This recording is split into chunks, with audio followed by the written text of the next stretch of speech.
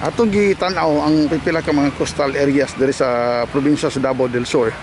Itong ginalantaw kay dunay mga pipila ka portion diri dapita atong ginatanaw para usab nga map kumpara kini sa ubang mga lugar. Kita na to diri di marikayan. Na dunay mga pipila ka mga basura pero sumala pa sa residente diri ila gyud ning gipanghipos. Ah, labi na weekend dunay mga pipila ka mga katawhan nga nagbisita diri dapita para usab nga tinduan kining mga basura no? Sama ni mga plastic mga plastic mga uban pang klase sa mga basura nga medyo gahi kini malata. Nga mamahimo kining ah, hinungdan nga mamahimong ah, delikado ang atong kadagatan. Kay ah, nakita na to diri sa tuwa sa Pilipinas labi na diri sa tuwa sa lokalidad sa ah, Mindanao. Nga sagad ang atong kadagatan atong ginalantaw o ginapaningkamutan sa atong mga environmentalist, local government unit, barangay. Pag tinabangay para sa nga ma-preserve pa ang atong kinayahan labi na batok aning pipila ka mga pagkatag og mamahimot ang responsable ani atong mga basura.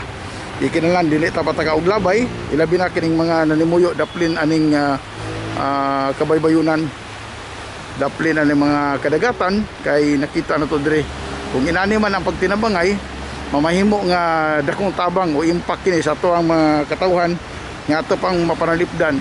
Ang atong kadagatang bahin labi na sa mga kabaybayunan nga dili kita mamahimong irresponsable sa panlabay sa atong mga basura so kining mga lugar ha atong gitan-aw dili na kayo daghan ang mga basura dire kay sumala pa sa mga uh, ato na hinabi nga mga lokal nga ila daw ang gipaningkamutan labi na weekend tabang sa ang mga barangay official sa pagtinlo sa pagpanghipos sa mga basura nga nidagsa diri dapita.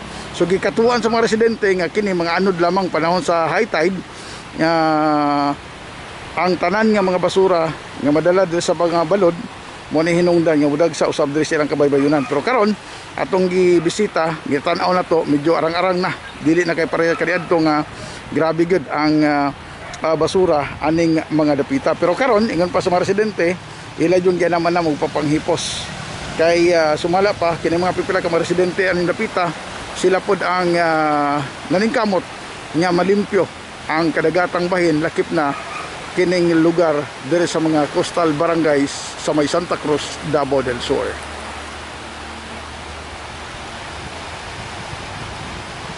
Para sa News 7, Raymond Micator reporting.